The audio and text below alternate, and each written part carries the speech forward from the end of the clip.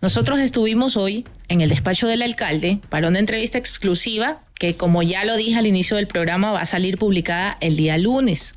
¿Qué pasa con esa entrevista? Pues escuchen ustedes mismos lo que dice el alcalde Aquiles Álvarez.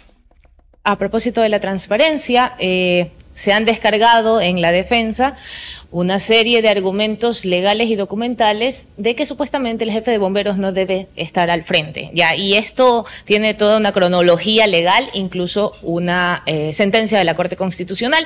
No sé si ya trató el tema a interna y qué me puede decir. Nosotros tenemos que darle eh, el trámite eh, dentro de la institución. Eso, ese informe lo tiene que conocer el procurador síndico del municipio, tiene que hacer la consulta también al procurador general del Estado.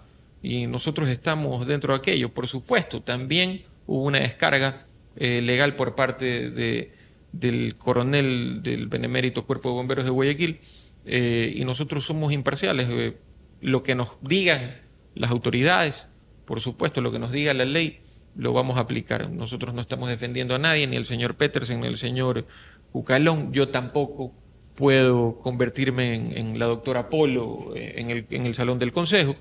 Nosotros como municipio de Guayaquil eh, todo lo estamos manejando a través de oficios y, eh, por supuesto, estamos cuidándonos en lo legal y el procurador síndico va a emitir un informe de la documentación que ingresó el señor Petersen y también un informe basado siempre en lo legal, de la descarga del coronel Bucalón. ¿Y si determina el procurador síndico y tiene que ir a consejo el cambio de jefe de bomberos, se procede? Por supuesto, por supuesto que va a proceder.